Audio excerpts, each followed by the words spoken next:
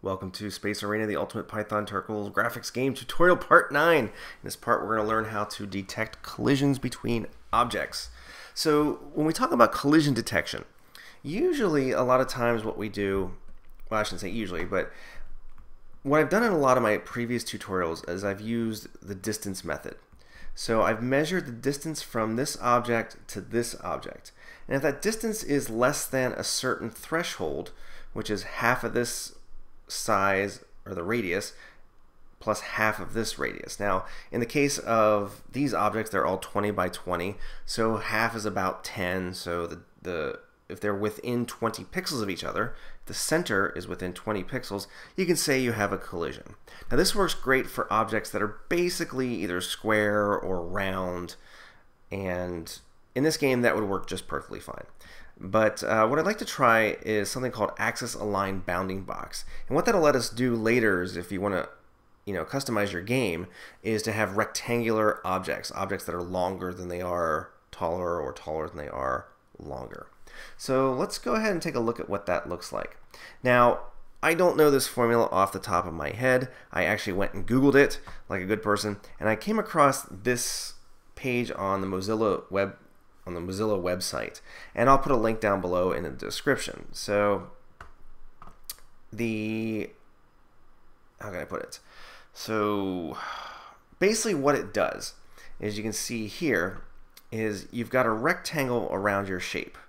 So this could be a bomb, this could be an enemy, whatever it is. And if they touch, you can see how that is considered a collision. Okay. So basically what you're doing is you're looking at the x coordinates, the width, and the height, and there's like so there's this like nice little formula there. So I'm just gonna go ahead and steal this because good artists borrow, bad artists no sorry, good artists steal, bad artists borrow. And what I'm gonna do is I'm gonna go ahead and put this into the sprite class. And so what I'm gonna do here, now watch watch what watch what happens here. And I could put this at the bottom, doesn't matter, but I'll just put it here for now. Def is collision. Okay. And the reason I put is is because there's only going to be one of two results. It's either going to be true, there's a collision, or it's going to be false. That's all this is going to do.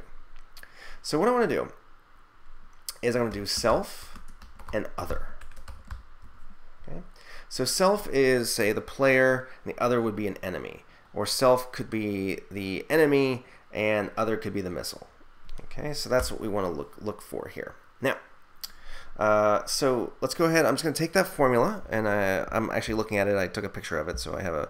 I'm looking at it now. So this is what it would be in Python. So if um, self.x is less than other.x plus other.width. Now keep in mind we we did define a width for our sprites uh, in down. Oh, did we or did we? Didn't we? We did for somewhere. I thought that we had width in there. Okay, well then we need to add that. So that's good. So I'm going to hit self dot width equals 20 and self dot height equals 20. And 20 comes from the fact that in the turtle module, that is the default height and width of objects. Now, if you replace your objects with some images later, you'll need to change these values. But for now, let's use 20 and 20. Okay, and then there's and. Now watch what I do. here. I'm going to put a little forward slash. That lets me come down here and continue this line. So self.x plus self, uh, uh, self dot width is greater than other dot x and okay, don't put a space after this okay, because you get an error. And I, of course, I spelled self wrong. Self. Then the next line is self self dot y plus other dot y. Uh, sorry, is less than. Sorry, yeah, I made a mistake there. Uh, no, that's fine. That's good. Okay, and self dot y is less than other dot y plus height and and self dot y plus self dot height is greater than other dot y So that's our big long if statement. And then we return true. Otherwise, we're going to return. Now, I think this is going to work. I hope I didn't mess it up. But let's go ahead and try it. Um, actually, let's just run this and see if it compiles. Uh, yeah, okay, so no obvious errors at this point. Now, what we got to do, so we have the method, but we haven't used it. So what I'm going to do down here is I'm going to add check for collisions. So what I got to do is for sprite in sprites. Okay, so think about that. So for each sprite in every sprite, I want to check and see if it collides with certain other sprites. Okay. So for example, so watch this. If is instance sprite an enemy. Okay, so if it's an enemy, okay, then I'm going to go if player dot is collision. Notice here there's no underscore. This is this is a built-in method of Python. If it's a collision with the enemy or with the sprite, sorry. So that means the player has collided with an enemy sprite. So I'm just going to say player dot x equals 0, player dot y equals 0. So we'll send the player back to 0, 0. So let's test that see if it works. Okay, we got an error, naturally. Enemy is not defined. If is instance sprite enemy. Uh, did I make an enemy class yet? I did not make an enemy class yet. I just made it into a sprite. So let me go ahead and fix that real quick. So I'm just going to go ahead and copy the player thing real quick and go ahead and make an enemy class. So class, oops, I'm gonna paste that enemy, and it's gonna be X and Y. Otherwise, the enemy acts as a regular sprite. So then I'm gonna say enemy equals enemy. Okay, so I've made an enemy class. Okay, so let's go ahead and test that. Okay, we got an error. Height is not defined. So line 74. So let's go ahead up to our sprite class. They, ah, should be other dot height. Okay. And hopefully some of you saw that before I did. Okay, so let's see what happens when I touch the enemy. Okay, well, nothing happened. okay, oh my gosh, that was freaky. Uh, Okay, so you can see how some the collision is not working. So this just tells me that my formula is wrong. So let me go ahead and compare that. Again, I have a picture of it. That's why I'm not switching back to it on the screen.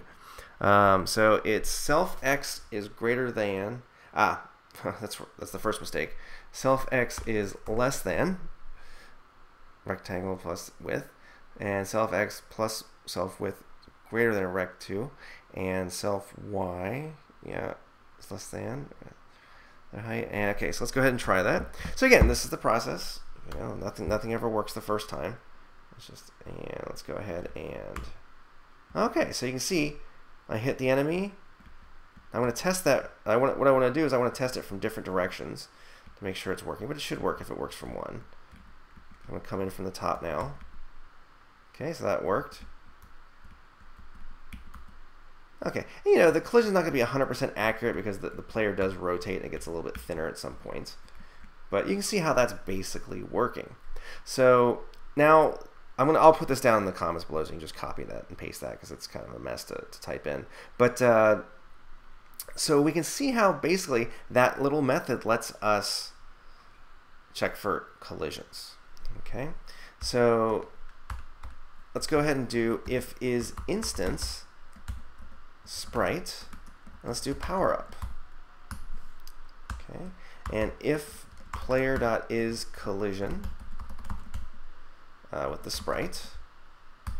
Not sure what we want to do with the power up. Um, let's do sprite dot x. Let's just move it just so we know that we've done something with it. Uh, let's just move to 100 100. You know, we'll do we'll something more with it later. Okay, so let's go ahead. Now we don't have a, we don't have a power up class, so we need to go ahead and create that. This is another reason why we created classes. And we could have done it a little differently, but classes just make things easier. So power up. And so for now, it's basically just a copy of the sprite class, but we will have some different things to do with that later. And I'm going to make my sprite a power up. Let's go ahead and run that. And okay, so you can see how the power up moves. So just again, we're just testing the collisions. Okay, so that. And now let's do something really cool. Uh, let's do. Now, let's take care of what happens if it hits the missile. Now, this is going to be probably a little bit more, maybe a little bit more interesting. So, in the case of an enemy, okay, if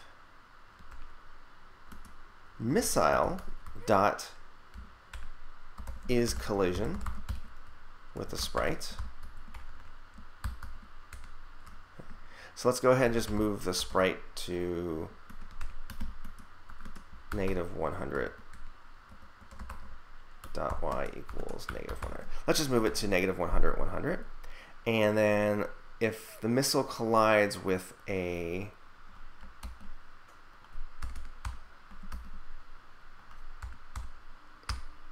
uh, power up, okay, let's move that to plus 100, negative 100. Let's go ahead and test that and see if we can start shooting things. All right, and okay, so it kind of works. Now, what do you notice there about the collision? Now, watch this.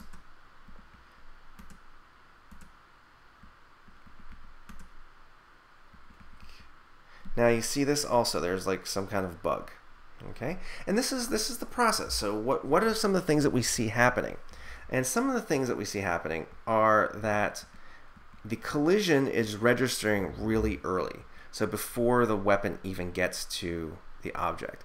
And the second thing we see is that this thing keeps resetting because actually the weapon is still sitting there, it's just not being rendered. So we have two things to fix. Now the first one is pretty easy. Um, the missile, if you recall, when we rendered it, we set its size to 20% of the regular size. So 20% of 20 is 4. So the missile height equals 4, and its width equals 4 also. So let's go ahead and test that. Okay, so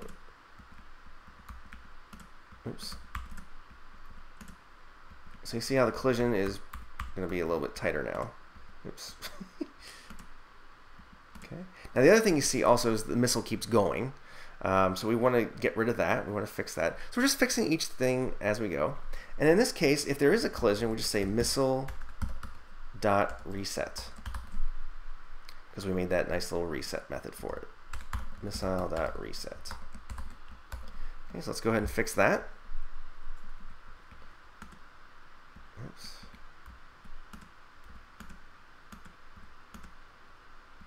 Okay. Okay, and seems like it's working. Alright, I'm pretty happy with that. And then, I said, the other thing that we got to fix is where the missile hit here, but it's still actually sitting there hidden. So that's why we have this weird effect going on. So we need to check first if there's a collision, and we also need to check if it's active. If missile.state equals active, and there's a collision.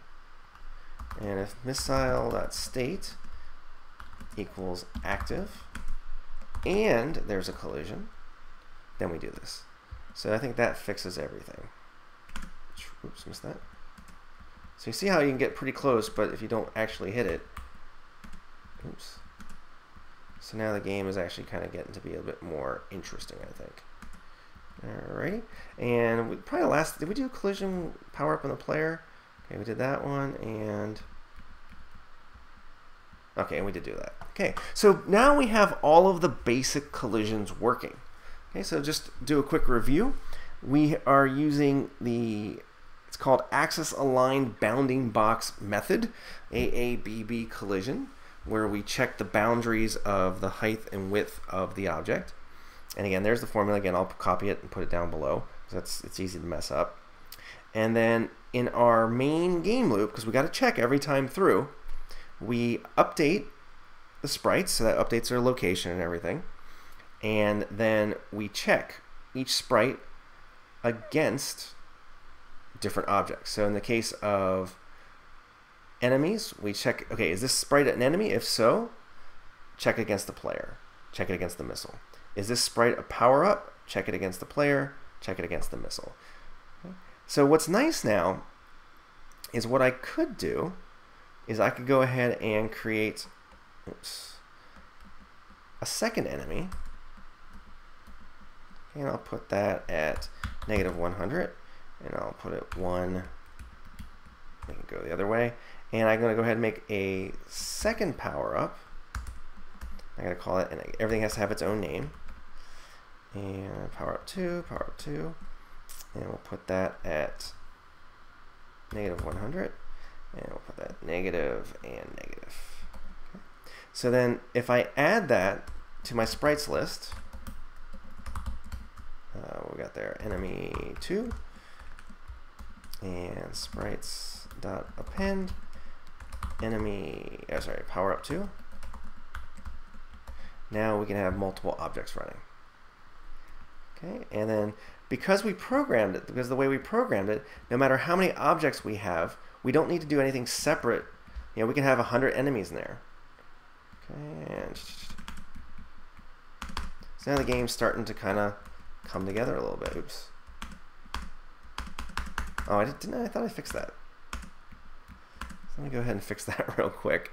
Um, I thought I fixed that in the last video, but notice how when I fire, it, it goes uh, uh, uh again. Um, so let's see here. Fire. Ah, okay. So in the fire method for the missile, I got to do this. So if self.state uh, equals ready, okay. So I can only fire the missile if it is ready. So that was my mistake there. Sorry about that. So let's go ahead and run that one more time. Because I only want because I only want to fire one missile at a time. Oops, missed. Okay, good. And we don't want to shoot our powers, but we can.